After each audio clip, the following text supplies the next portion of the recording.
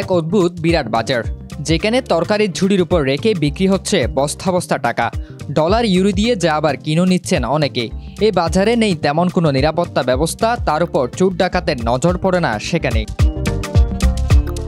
শুনতে অবাক লাগলেও এরকম বাজার রয়েছে আফ্রিকার ছোট্ট দেশ সোমালিল্যান্ডে, সেখানে যে নকল বা জাল টাকা বিক্রি হয় এমনটা নয়।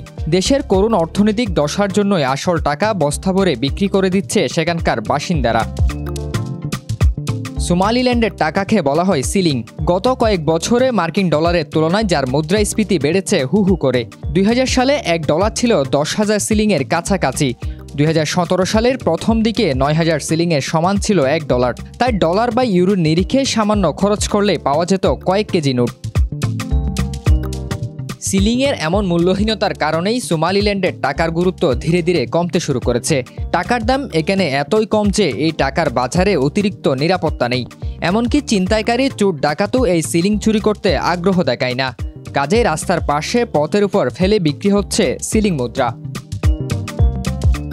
রিয়ানমিন কবির বাংলা ধারা